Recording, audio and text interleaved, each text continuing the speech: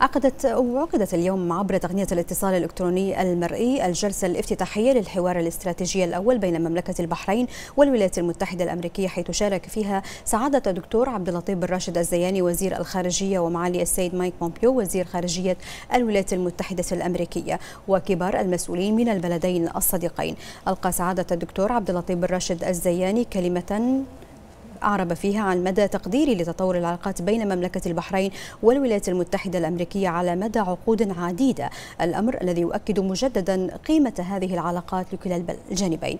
أشار سعادة وزير الخارجية إلى رؤية مملكة البحرين للسنوات الخمس والعشرين القادمة من العلاقات الثنائية والفرص والتحديات والتطلعات لشراكة أوسع وأوثق عبر مجموعة من القضايا. وقال إن عام 2020 شهد تحديات صحية واجتماعية واقتصادية غير مسبوقة في جميع أنحاء العالم بسبب تداعيات فيروس كورونا كوفيد 19 قال سعادة وزير الخارجية أن اتفاق مبادئ إبراهيم أحدث تغيرا نوعيا في ديناميكيات الشرق الأوسط وتجدد التفاؤل تجاه السلام والازدهار في المنطقة.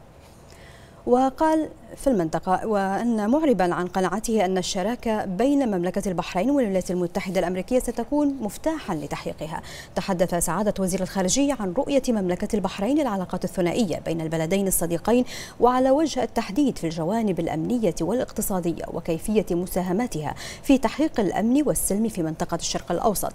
على الصعيد الثنائي أشار سعادة الدكتور عبد اللطيف بن راشد الزياني لأن هناك العديد من الفرص لمزيد من التعاون في مجالات التجارة والاستثمار والبتروكيماويات مشيرا إلى أن هناك مجالا كبيرا للشراكة الأمريكية مع قطاع البنوك والتكنولوجيا المالية الرائدة في مملكة البحرين.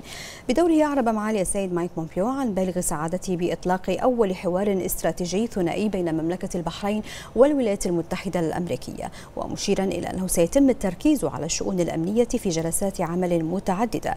كما نوه بومبيو بأنه خلال الأسبوعين المقبلين ستجتمع خمس مجموعات عمل من وزارة الخارجية الأمريكية ووكالات أخرى مع نظرائهم البحرينيين لمناقشة سبل التنسيق والتعاون أكثر في مجالات مختلفة مؤكدا أن العلاقات الثنائية بين البلدين هي القوة لتحقيق نتائج إيجابية متوجها بالشكر لمملكة البحرين على صداقتها الممتدة مع الولايات المتحدة الأمريكية.